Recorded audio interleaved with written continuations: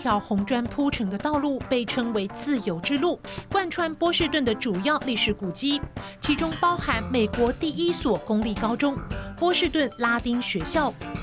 作为美国教育理念的发源地，有超过一百所高等学府遍布在这座城市，这里成为中国大陆留学生的首选地。选择这里的高中留学，感觉上离常春藤更近了一步。根据统计，随着中国大陆高所得人口越来越多，中国大陆学生出国留学低龄化的趋势也越来越明显。数据显示，近五年到美国就读初高中的中国留学生数量增长将近三倍。成千上万的家长夹道欢送，一百多辆大巴士，五百多辆轿车，上头载的是安徽小镇今年六千位参加高考的考生。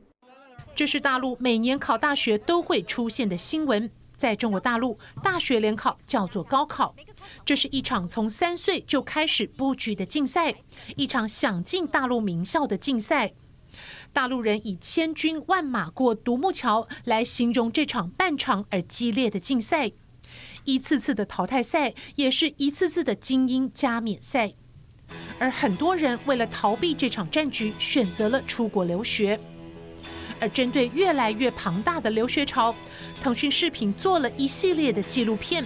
通过主持人亲身体验及访问当地留学生的方式，让观众真实而且客观的去了解美国高中教育以及留美生活现况，包括如何选学校，是选择住宿家庭好，还是住在学校宿舍好？美国的高中到底怎样上课，以及孩子们来美国留学会遇到什么样的难题？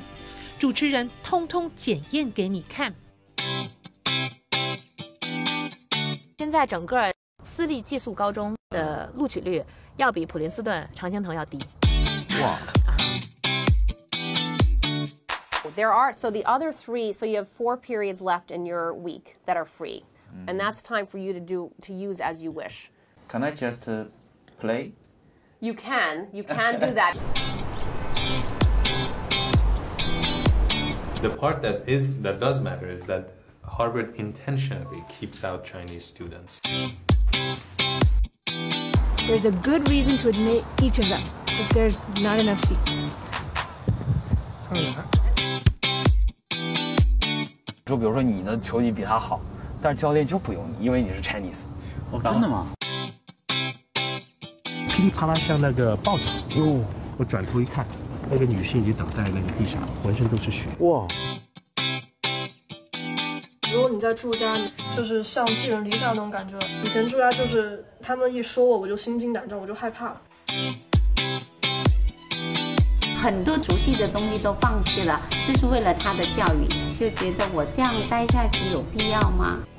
在美国寄宿高中，平均每年学费大约五万美元，当地生活费一点三万美元，四年下来合计人民币至少一百七十万美元，折合台币七百八十万元。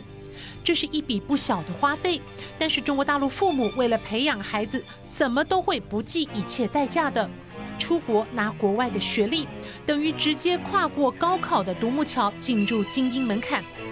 中国大陆父母觉得这是对小孩最好的安排，但是小小年纪就出国，还是要面对不少的挑战。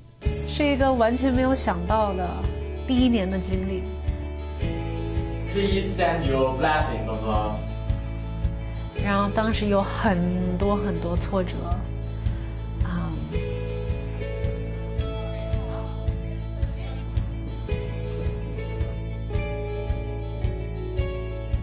我知道我必须要自己去解决，我必须要自己去克服。首先要面对的就是语言门槛。《纽约时报》说，中国学生学习以考试为中心，高中学生花费大量的时间准备高考。因此，大部分学生花上几个月的时间苦读英语是经常的事儿。他还遇见一些学生能在短短一个暑假的时间里提高三十到四十分的托福成绩，但是他们的英语口语却一点都没有提高。对留学生来说，一边学习英文，一边学习生物学，可能有一点难过。This is P5, this is P4, P3, P2, P1. 这是什么东西啊？Thumbs up if you're with me. Thumbs middle if yes middle. Okay, we'll do examples.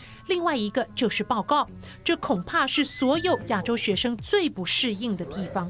I will give you three minutes to find a source, and then you will do an initial report out on what you have found from our library resources. 爱因斯坦说：“如果我有一个小时的时间来解决一个问题，我可能会花五十五分钟的时间来确定如何提问。一旦知道如何发问，我可以在五分钟之内解决这个问题。提问很重要，他们的这个基本结构就是先发材料，发材料提问，提问讨论总结，然后再回去写 paper。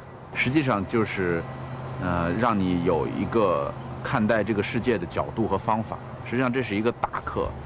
在美国高中课程多样，一所学校开设的课程可以多达一百四十门。学习时间不定，大多时间自己掌握，课表因人而异，学什么由你自己决定。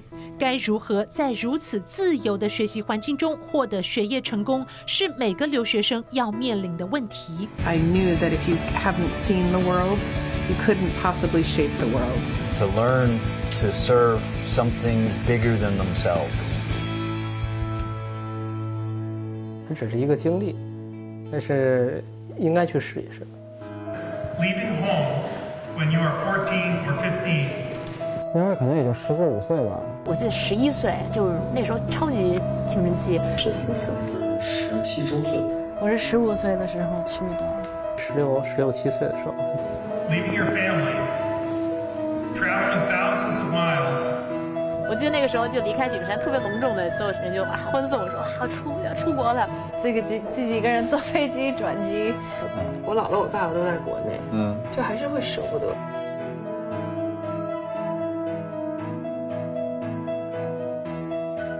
然后会经常给我妈打电话。我说喂妈，然后她就立刻哭了。在亚洲，判断一个人的实力，并不是来看你本身是个什么样的人，而是要将你和其他人比较，来看你做的是否更好。而在美国，学生多半有种心态，那就是要活得独一无二。中国的教育制度过于严厉，中国人一直以来都在尝试改变现状，政府和家长都对目前的教育现状不满意，但是每个人也只是说。现状就是这样。